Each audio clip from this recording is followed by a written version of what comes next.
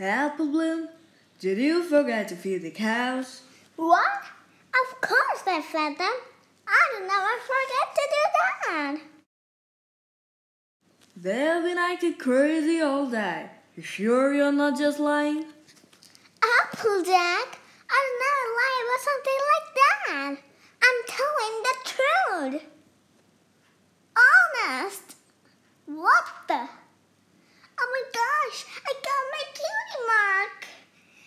His must be lying. Hmm. I mean, no, it's not.